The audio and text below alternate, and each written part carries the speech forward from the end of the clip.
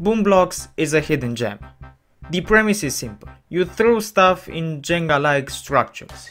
You have to clear out a course. And the formula works. The game is outstanding. No matter how many puzzles you get, you want more.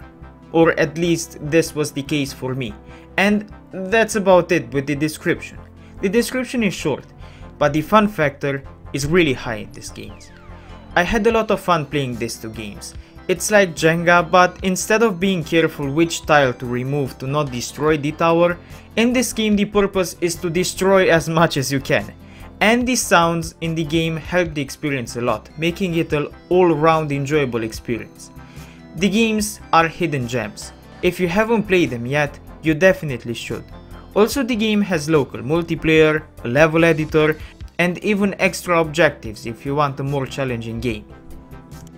Also, if you were to choose, I recommend you the second one, Boom Blox Bash Party, as it has more levels.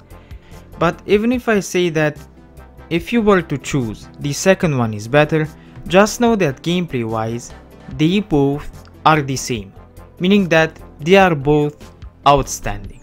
And aside of using throwing balls, explosive balls and bowling balls to cause destruction, you also get puzzles where you play Jenga or Jenga-like levels and aside of the single player levels you also get a party mode, where you can play multiplayer games. And there you get to do different stuff than in the single player puzzles.